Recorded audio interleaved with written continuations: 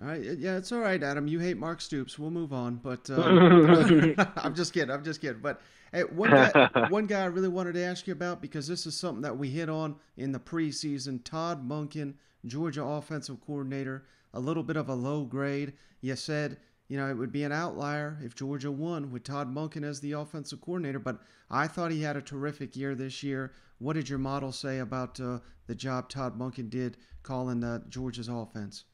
He, you know, it, it, he, he, did an excellent job. This the offense was ranked fifth this year. Mm-hmm. Uh, I think um, um, I think Kirby Smart kind of took the handcuffs off a little bit this year.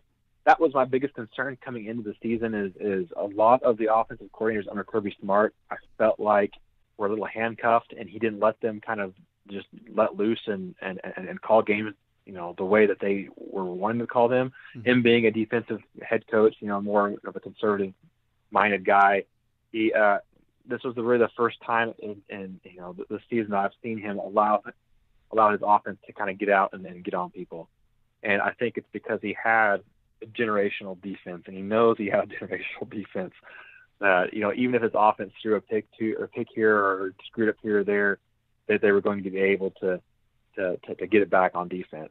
And uh, you know, I think uh, hopefully this, this this was a good lesson for Smart that hey, um, let Monken roll, let let let, let Monken cook. You know, he mm-hmm. he's fine. He, he he he had the number five offense in the country with with you know you know who Stetson Bennett who is a great story, but he's he, he's he's not a uh, you know, he's not the prototypical, you know, uh, uh, high numbered quarterback that, that, that Georgia could, could possibly get in the next coming years. Right. So if if he continues to let you know let let Todd Monken do his thing, then uh, then Georgia could be a headache, you know, for, for, for many many years to come. I don't think that defense is changing. I don't think I don't think that talent that the talent influx is is, is going to change. Georgia is just going to be a monster for a while.